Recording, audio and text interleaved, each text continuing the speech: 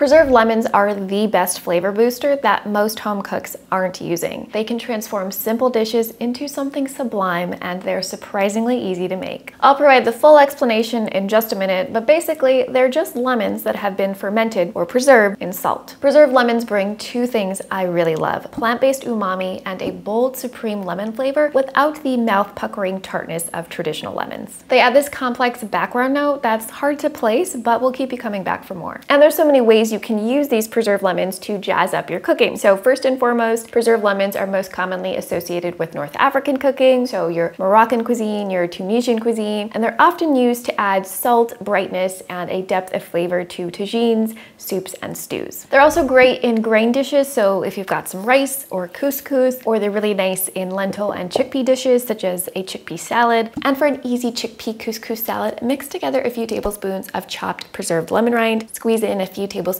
each of lemon juice and extra virgin olive oil, and season with salt and pepper or Aleppo pepper, which is what I'm doing. Pour this all over some cooked pearl couscous, top with some chickpeas and colorful bell peppers, add a few handfuls of fresh herbs like parsley and basil or mint, and you have yourself a very easy, delicious lunch. I also love using them in salad dressings and vinaigrettes, like this preserved lemon vinaigrette, which is so full of flavor. We've got fresh lemon juice, minced preserved lemons, minced shallots and garlic, and a touch of maple syrup to balance the acidity. Stream in some extra virgin olive oil until it's emulsified, and then add some chopped fresh mint and salt and pepper, of course. I'm serving this vinaigrette with a beautiful carrot ribbon salad. You can find that recipe in the blog post, but you can use this vinaigrette on virtually any salad. And they're also particularly tasty in yogurt-based sauces as well as tahini-based sauces, two of my absolute favorites. And for this preserved lemon yogurt sauce, you'll need a half cup of a good quality coconut yogurt, a tablespoon of the chopped preserved lemon rind, a little bit of minced garlic, chopped cilantro, and Aleppo pepper, which I love, and salt. This is great with falafel and pita bread, as a dip with pita chips, or served alongside some crispy roasted potatoes. I also really like a touch of preserved lemon in tomato-based recipes for a unique pop of brightness in the background. So if I'm making a marinara sauce, I might add a little bit in there, or even a vegan shakshuka. Preserved lemons can even give a fresh face to something really basic like store-bought vegan mayo, or the most basic of all, avocado toast. For all my basic bees out there, listen up. You're gonna wanna roughly mash up one ripe avocado, squeeze in some fresh lemon juice, add in about a teaspoon, maybe a bit more of preserved lemon peel, and season with salt and red pepper flakes. Give it another mash and spread it on some good quality crusty bread and enjoy your not so basic avocado toast.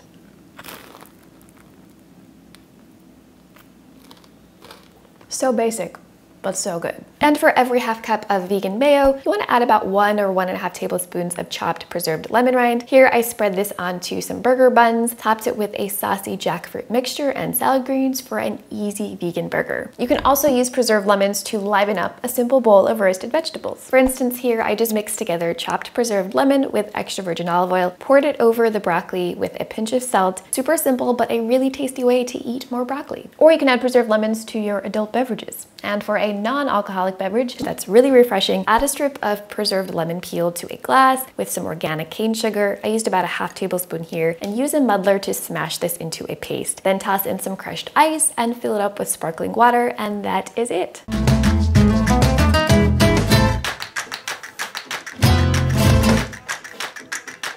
Now that you know why preserved lemons are amazing and how to use them, let me show you how to make them. Spoiler alert, it's really easy. We'll get started by grabbing our lemons. I've got about eight today and our jar. I've got a 34 ounce jar. I prefer using Meyer lemons because they're a little sweeter, have this really nice aroma, but you can use regular lemons. If you can't find them, whatever you use, try to find the smallest lemons you can because the larger thick-skinned varieties don't really soften as well. And since you'll be eating the peel, make sure to wash and scrub your lemons really well. We're gonna add a tablespoon or two two of kosher salt to cover the bottom of the jar. We're essentially curing lemons in salt, so we need a really salty environment that's going to prevent mold from growing in the lemons, as well as create a good environment for beneficial bacteria to grow because that is how the lemons are fermented. You wanna take a lemon and cut off a thin slice from the tip on both sides to give it a flat bottom. Now cut lengthwise almost all the way through. Now flip the lemon by 90 degrees and repeat this as if you were quartering the lemon into wedges. Now gently pry these lemons open, but not so hard that you detach them, and fill each lemon up with a generous amount of kosher salt. I don't bother measuring the salt because every lemon size is different. Just fill them up and then close the lemons. Yes, this is a lot of salt, but don't worry, this is how you're supposed to preserve lemons. Now here's where it gets fun. Start adding your salted lemons to your glass jar and start pushing them down with a large spoon or a pair of tongs so that they release their juices and become more compact, which makes room for more lemons. Whenever I'm making preserved lemons, I always get a couple extra lemons because if the juice from these lemons is not enough to cover them, I will just juice some extra lemons on top. That's really important to keep